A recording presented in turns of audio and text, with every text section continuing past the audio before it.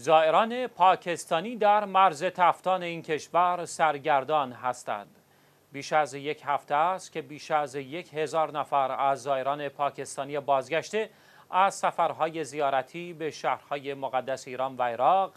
پس از عبور از مرز ایران در گذرگاه مرزی تفتان در داخل پاکستان در گرمای شدید و بدون امکانات رفاهی، اقامتی، بهداشتی و آب و غذای کافی سرگردان هستند. طرف پاکستانی به بهانه نبودن اسکورت از تفتان تا کویته این زائران پاکستانی را در این مرز سرگردان کرده و هنوز برای رفع این مشکل اقدامی نکرده است. طبق مقررات وضع شده زائران پاکستانی باید مسیر زمینی 600 کیلومتری تفتان تا کویته را توسط نیروهای امنیتی پاکستان اسکورت شوند ولی در این مقررات باید تعداد این زائران به حد نصاب 5000 نفر برسد تا اجازه عبور یابند و اسکورت شوند. در ایام ماه محرم و صفر که تعداد زائران پاکستانی چندین برابر ایام دیگر است این اسکورت های اجباری انجام می شود ولی در بسیاری از ایام سال با توجه به کمتر شدن سفرهای زیارتی